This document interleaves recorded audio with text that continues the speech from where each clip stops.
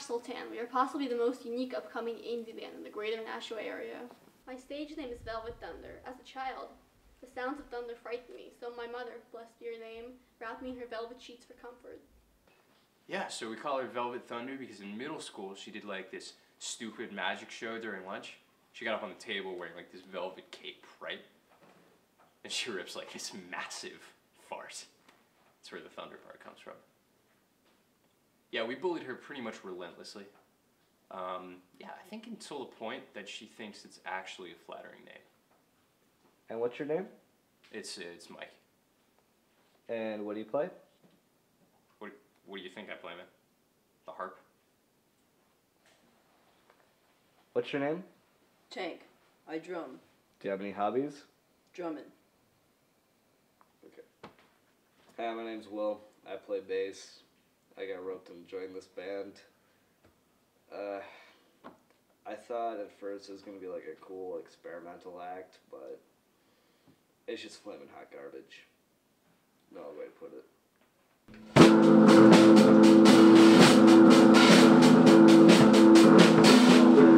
Whoa, whoa, guys, we're really offbeat here. Shut up, you tasteless Do you even know how to play your instrument? But but but your mic isn't even plugged in. Your mic's not even plugged in. Meh, meh, meh. Shut up, Nick. Yeah. Shut up, Nick. I am the father of Velvet Thunder. Don't call her that. Excuse my wife. To be honest, I'm proud of our daughter. It can be a little rough around the edges, but if they keep at it, they'll be great. I myself was in a band once. Here we go again. Dave, that was years ago. And frankly, you weren't good. And neither is your daughter. That's right, I said your daughter. You passed on the lack of musical talent to her. You know what? I'm proud of my daughter. So we are preparing to play a venue. This is our first major gig outside of my father's garage. This was the first pub we didn't get kicked out of. So I count that as a win. Frankly, last night I went out to have a lovely dinner with my wife, and these I mean, they put on one of the acts I've ever seen. I mean, they're just a they're a pub act. Do you know how bad you have to be and to be one of the, the top worst pub acts I've ever seen? You really have to be a We're about to release our debut extended play, Burning Chapsticks. This is really going to shake up the world of music and bring the industry to its knees. I personally feel inspired by many great artists of our age. For example, the Bee Gees, Neutral Milk, Milk Hotel, the Deadliners, and In Utero Singing. What do you feel your music is inspired by? Uh, copious amounts of. I'm inspired by the uh, suffering of the um, urban youth. I don't like the Beatles. So obviously, you guys are an independent band. Where's the funding for your EP coming from? I really wanted to invest in my daughter's career. So, I did my part and sank some of my retirement money into getting Burning Chapsticks produced. Please don't tell Cheryl. I heard my name. What's going on? Why are you still here? I told you to get batteries 20 minutes ago. Where's the batteries, Dave? So it's a special treat for album release. We're going to give you guys a tour of my place of employment. So after spending two years at a prestigious academy called Bunker Hill, learning the skills of informational technology. Hey, Shay. Yeah. Sir, would you mind calling me by my stage name while the documentarians are here? Okay, Velvet Thunder. Come back with a Grammy and maybe I'll give you an extended lunch break. Now, chop chop. These fans ain't gonna replace themselves. Okay. One day I'll have more fans than any computer. to say this album is the worst I've ever reviewed is to give it too much recognition. This album offends the very culture of rock and roll. This album deserves to fade into obscurity in the very depths of hell. The problem with the modern day consumer is that they cannot fathom the value of work. They're so satiated over the modern pop drivel, while the true art falls to the wayside. Yeah, it's. I mean, it's so.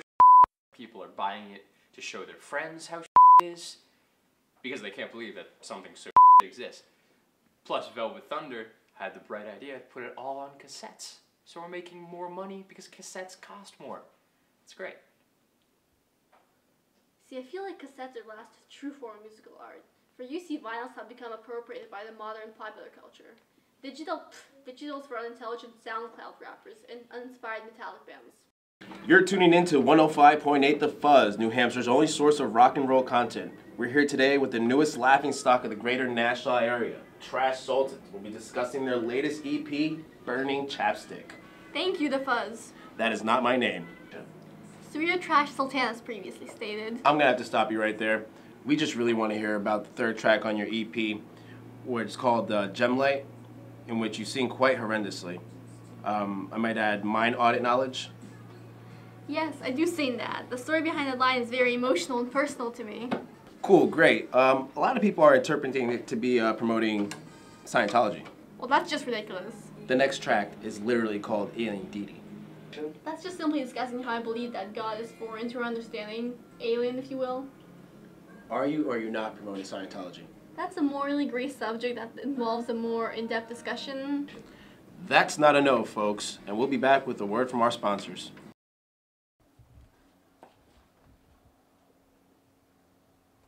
Okay. Yeah, I don't think that really made us look so good. Shut up, Will. Stop being so negative. Anyway, our reputation is ruined. I mean, all five of our t-shirts did sell out. I don't really see the problem here. Those are bought by Scientologists. They're a loyal fan base. So it's been a while since I've been kicked out of my home. Also, I've become temporarily unemployed. Permanently. Oh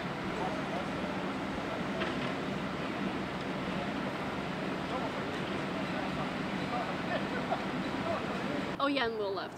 Yeah, you know what? I'm glad I left that shit show when I did. Plus, things have been going pretty well for me because uh, I got a gig as a roadie on the Infamous Grateful Dead tour, so that's job security. At least till Jerry Garcia dies.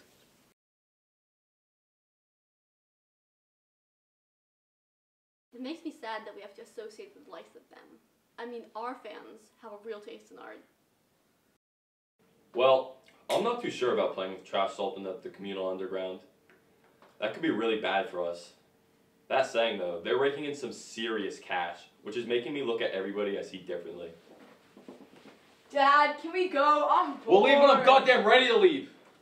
Sorry, the missus makes me bring him along with me. You know, ten year olds always complaining. They all have taste in music.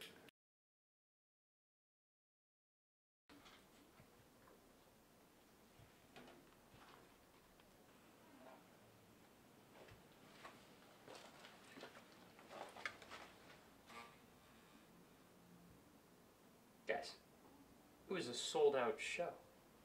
I see this as an absolute win. What happened last night was horrendous. Um, you know, who thought bringing a bunch of Scientologists into one space would be a good idea? Due to health concerns, the communal underground is shut down. And one, two, three, four.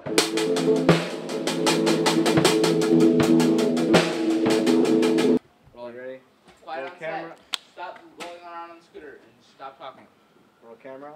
Rolling. Ready, Desi? Yep. Okay, look at me, remember? Actually, with me? Yep, and I'll talk to you. Yep. Action. You know what? I'm living the dream of the rock star. Get to spend time with my girl. Missed that when she was younger. Been nicer if Cheryl was still here, but I got the house in the settlement, so I can't be complaining. We're having a bit of a tiff about, you know, what the new single should be called. You know, now we know that our who our audience is, right? So I think we should, you know, cater to the fans. Call it the second coming of Xenu. I think that would be cool. Velvet's going off on her artistic integrity bullshit. But it's just like eh, she wants to call it this, the the Ottoman siege of Vienna. Eh, no one's gonna buy a single called the Ottoman siege of Vienna, and I need to buy a new Chevrolet soon. So I just don't think it's gonna work out.